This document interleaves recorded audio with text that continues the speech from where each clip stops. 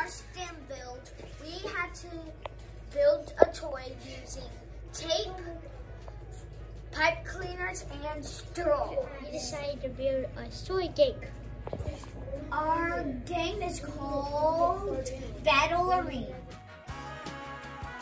Amazing. Tell me how you made yours. What did you, th- what were you I thinking when you made yours? used A straw and some pipe cleaners and some tape. And looks to like you wrapped it in tape. Wow. To make it sturdy.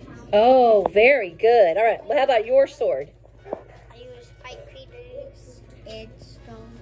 And your sword is very colorful. I really like to that. Talk about is so in our game we have it comes with building materials, and you get to build any kind of weapon you want.